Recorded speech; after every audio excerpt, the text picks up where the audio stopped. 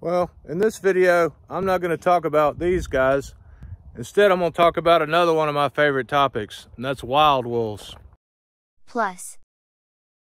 Conservation and the reintroduction that's coming to Colorado. Say hi, Luna.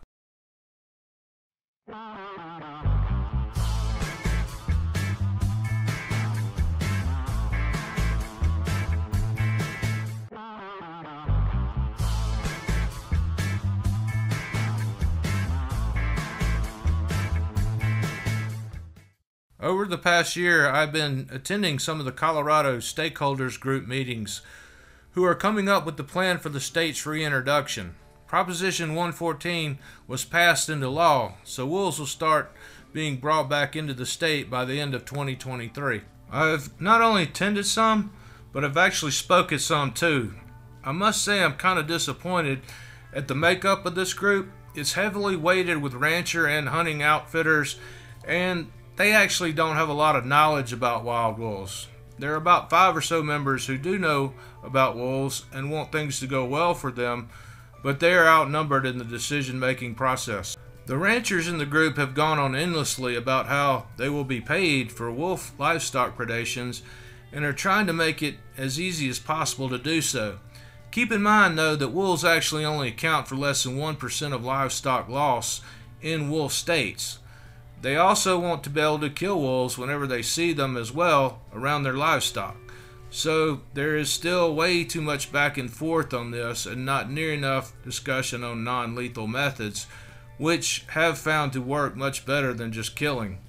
Also, we the taxpayers have paid and enlisted some of the top wolf professionals in the country to aid in the process, but I don't see where these experts are even being utilized.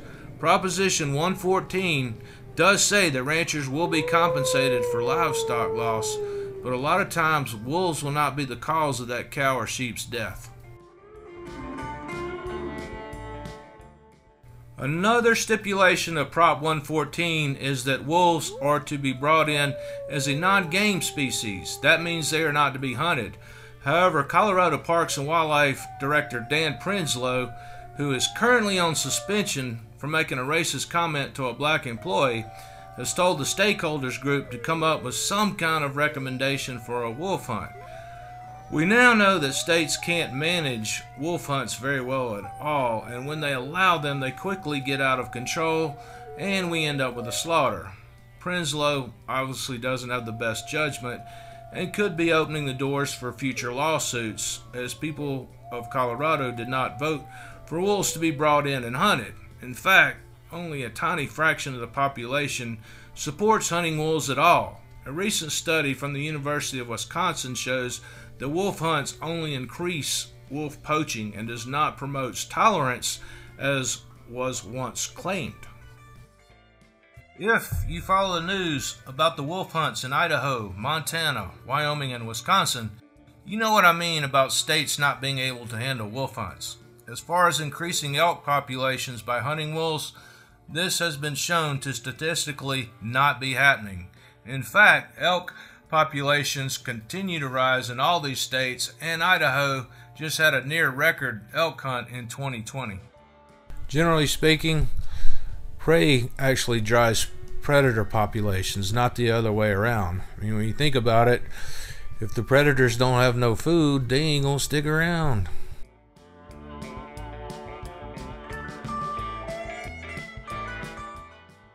Some elk hunters and even the Rocky Mountain Elk Foundation say that wolves have decimated the famous Lolo herd in Idaho. However, Idaho fish and game biologist Jon Horne pointed out in this video put out by Colorado Parks and Wildlife that the herd had been crashing since the 1980s, long before wolves were reintroduced, because there is a habitat problem there. He shows this graph that shows wolves once established themselves, they didn't even change the trajectory of this curve showing the elk's fast decline. They basically had little effect on this herd. Also, retired Idaho Fish and Game biologist Ted Chu stated that most western elk states have more elk than they know what to do with, including Colorado. I don't see wolves having a significant negative impact. Now, you do have at times what is called a predator pit or predator sink, where a predator is causing a decline in prey populations, but this is fixed by surgically removing some of the predators. But also, these pits are usually caused more by habitat than the predators. And if things aren't fixed with the habitat, well, you know what that means. Plus, the science shows they not only take out mostly the sick and the old, they also take out the smaller calves, which gives the larger calves an even greater chance of reaching maturity. This is also talked about in the Colorado Parks and Wildlife video. So actually these smaller elk calves fall into the compensatory mortality range. Translation, they're most likely to die sooner than later. Now, it is pretty much accepted that wolves take out the sick and the old, but what about CWD? Most biologists will tell you yes, it should help stop the spread of CWD, but still others say there's not enough data to prove it yet. Given though what we know about wolves picking out the sick, it stands to reason that they will at the very least slow the spread. But how much they do, we don't have the exact numbers yet. So anyway, at the last stakeholders meeting, Nearly all the public there spoke out against ever having a wolf hunt in Colorado, and among the speakers were two professors of ecology and wildlife biology. Also, one of the authors of the bill, Prop 114, spoke and he said Prop 114 was worded so that there would not be a wolf hunt. So, who knows what will happen. Anyone who's watching this video, however, can contact Colorado Parks and Wildlife Stakeholders Group and voice your concerns. Yes, they do care about tourism and what people outside the state think. If you like this video and want to learn more about wolves, wolf dogs, and dogs, please hit the like button and subscribe.